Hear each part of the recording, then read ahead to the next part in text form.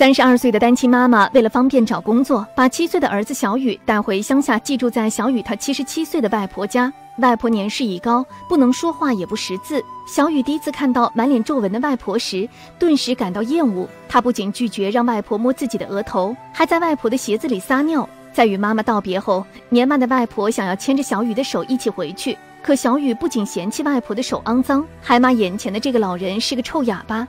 外婆在害怕小雨跟丢了，一直默默地走着，还时不时地回过头来看望小雨。晚餐时，小雨嫌弃外婆做的饭菜难吃，于是闷头吃着自己从城里带过来的罐头。为了讨好小雨，外婆拿出了平日里积攒的一点糖果，但小雨却不看一眼，就跑到一边去啃自己的巧克力。到了夜晚，小雨不敢一个人去上厕所，外婆就一直在旁边守护着她。小雨从不主动和外婆说话，只顾着自己玩游戏机，还整日摆弄着自己的玩具，却不愿与邻居分享。小雨还不顾在一旁补袜子的外婆在床上溜冰，外婆则丝毫没有制止的动作和眼神，因为她只想让外孙玩个尽兴。当小雨玩累了，外婆才起身，一点一点地扫掉床上因溜冰带来的尘土。直到有一天，小雨的游戏机没有电了，她吵着向外婆要钱买电池，但是外婆的家里穷，没有钱。外婆只好在自己的胸口画圆圈，表示对不起。可生气的小雨不仅将正在洗衣服的外婆推倒在地，还砸坏了外婆的痰盂，甚至将外婆唯一的一双鞋子藏了起来。外婆只好光着脚去很远的地方挑水做饭，生怕怠慢了小雨。趁外婆午睡的时候，小雨偷走了外婆唯一珍藏的发簪，跑到了小镇上去换电池。但落后的镇子里根本没有这种纽扣电池。返回途中，小雨迷路了。多亏了一位好心的老伯，将他送到了村口。而此时的外婆已经在村口等了很久。这时，小雨看见外婆的头上插着一根铁勺子来充当发簪，担心外婆会责备他。然而，外婆并没有责备的意思，只是默默地将他领回家里。又过了几天，小雨没法玩游戏，就嚷着要吃肯德基。但一辈子都待在农村的外婆并不知道这是什么，只理解成了外孙想吃鸡。于是，外婆带上家里种的菜，拄着拐杖去集市换鸡。并冒着大雨，坐在崎岖的小路上赶回了家。好不容易把鸡炖好了，拿给外孙吃。可外孙看到后，开始乱发脾气，说自己想吃的是炸鸡，而不是炖鸡，甚至打翻了饭菜。外婆嫌浪费，就将地上的饭菜捡起来吃。第二天，外婆就因为淋雨感冒了。小雨可能也发现外婆对自己的好，第一次主动照顾起了外婆，并将发簪插回了外婆的头上。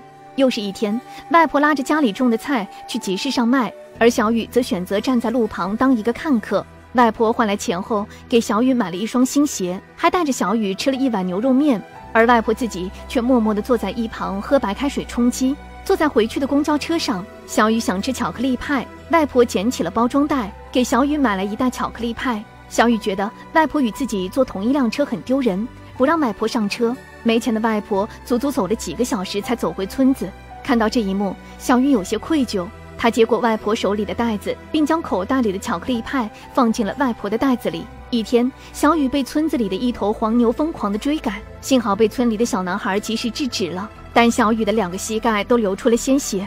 正当小雨准备用包裹游戏机的纸擦拭伤口时，才发现里面包着几张外婆给他购买电池的钱。